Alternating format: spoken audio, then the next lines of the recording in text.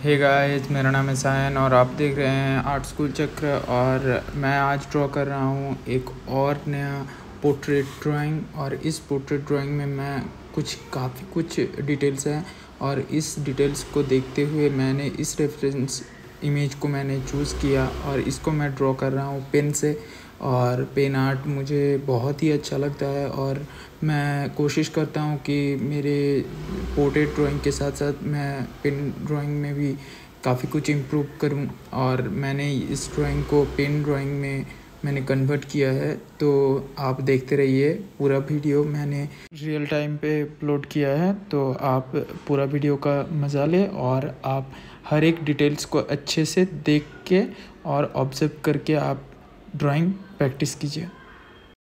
Pen drawing करते वक्त आपको बहुत कुछ चीज़ों का ध्यान रखना है, क्योंकि पेन से आप, अगर एक बार आपने मार्क कर दिया तो आप उसको इरेज नहीं कर सकते। तो इसके लिए आपको, जब आप कॉन्फिडेंस हो कि हाँ ये मार्क वहीं पे है, तभी आपको पेन वहाँ पे मार्किंग करना है। जैसे डार्क के लिए मैं ज़्यादा से ज़्यादा प्रेशर पे वहाँ पे अप्लाई नहीं करूँगा, क्योंकि ये पहले ही मुझे बेस लेयर क्रिएट करना है, उसके बाद बेस लेयर के बाद मैं वन बाय वन लेयरिंग करूँगा।